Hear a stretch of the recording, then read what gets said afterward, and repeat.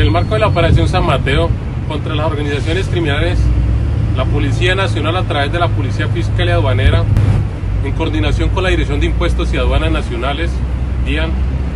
mediante acciones de control aduanero a la salida de Sociedad Puerto Industrial Aguadulce,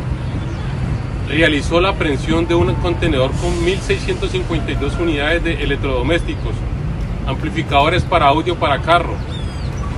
de procedencia extranjera, por un valor comercial de 825 millones de pesos. Es importante destacar